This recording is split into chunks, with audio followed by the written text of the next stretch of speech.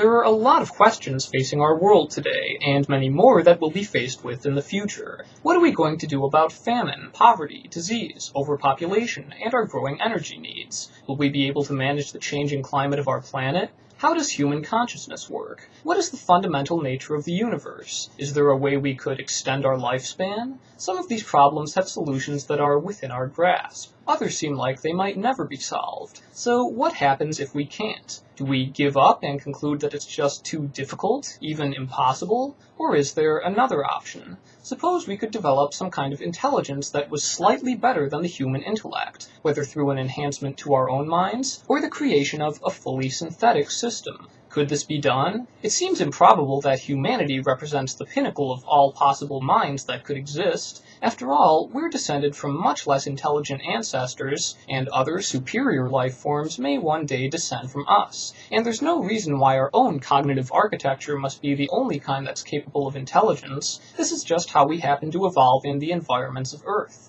So suppose we were to focus on creating a better than human intelligence. Not vastly greater, but greater nonetheless. What could this new and improved intelligence be directed towards? Might it be able to figure out some of the problems we have to deal with? Could it come up with better answers than we would have? Perhaps, or maybe not. Maybe it still wouldn't be smart enough. So what if we put it to work on developing another intelligent system that's slightly smarter than itself? Being superior to humans, it would be even more proficient at this than we would, making it better and faster at designing its own successor, and the system that results from this would be even better at designing a greater intelligence. This series of progressively superior intellects could thus continue in this way, each becoming even more skilled at developing the next generation of intelligent systems until some kind of limit is reached. The accelerating and escalating production of ever greater intelligence by greater intelligence is known as the technological singularity.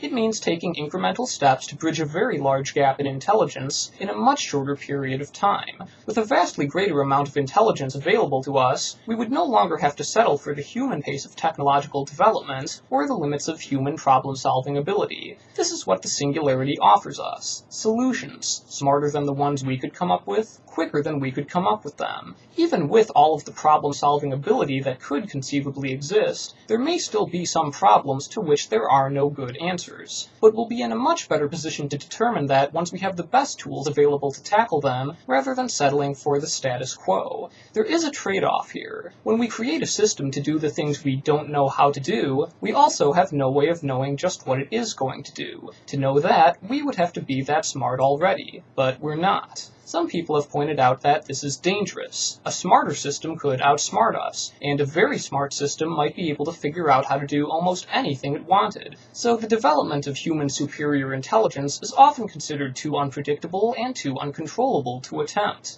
But there may not be another option here. If we choose to refrain from doing this, someone else might decide to do it first, and there's no telling what the results would be. Intelligent systems like AIs have commonly been portrayed as a bloodthirsty threat to humanity humanity, but the reality is that nothing of the sort is inherent to all AIs. An artificial intelligence is fully specified by how it's initially written, and there are as many different kinds of AI minds as could possibly be programmed. But when AIs are the ones writing the AIs, this is something we have to be especially careful with. When an intelligence can modify itself or decide what the systems it produces will want to do, it's very important that this intelligence has a stable and benevolent system of goals. This is absolutely crucial to ensuring a suitable outcome, and designing a safe singularity may end up being one of the most pressing problems we'll have to face in the coming century. The future is an endless network of dim and potentially lethal corridors which we must navigate with the utmost caution, and so far, the most we can do is fumble in the dark. Here we have a chance to turn on the light, chart a path ahead, and find the best way through. Is it guaranteed?